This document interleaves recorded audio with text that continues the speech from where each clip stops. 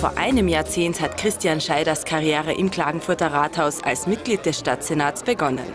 Mittlerweile sitzt der ehemalige Referent für Jugendwohnungen und Wohnungsvergaben am Bürgermeistersessel.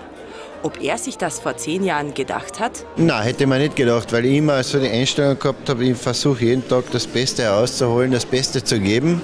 Aber jetzt nicht unbedingt so, dass ich sage, in fünf Jahren muss ich da sein, in fünf Jahren muss ich das erreicht haben in Positionen, sondern ich glaube, die tägliche Arbeit, das Beste geben, äh, wird dann eh positiv. Neben seiner Funktion als Stadtchef kümmert sich Scheider auch weiterhin um die Referate Feuerwehr, Zivilschutz und Soziales inklusive Senioren. Und gerade seine soziale Ader schätzen Freunde besonders an ihm. Er hat sich dem weltweiten Motto aller Lions Clubs We Serve, wir helfen, verschrieben. Das bedeutet, dass er nicht nur auch persönlich finanziell spendabel ist, sondern dass er auch unzählige idealistische und ehrenamtliche Stunden für Menschen in Not aufwendet. Neben seinem sozialen Engagement verbinden seine Kollegen und Wegbegleiter aber auch noch andere Erinnerungen mit dem Bürgermeister. Wie der Herr Bürgermeister und mein Mann noch jünger waren, sind sie oft Tennis spielen gegangen und Jörg Haider war immer sehr begeistert von diesem sportlich fairen Menschen, der auch Ausdauer hat und im Team sehr gut fähig ist, etwas weiterzubringen.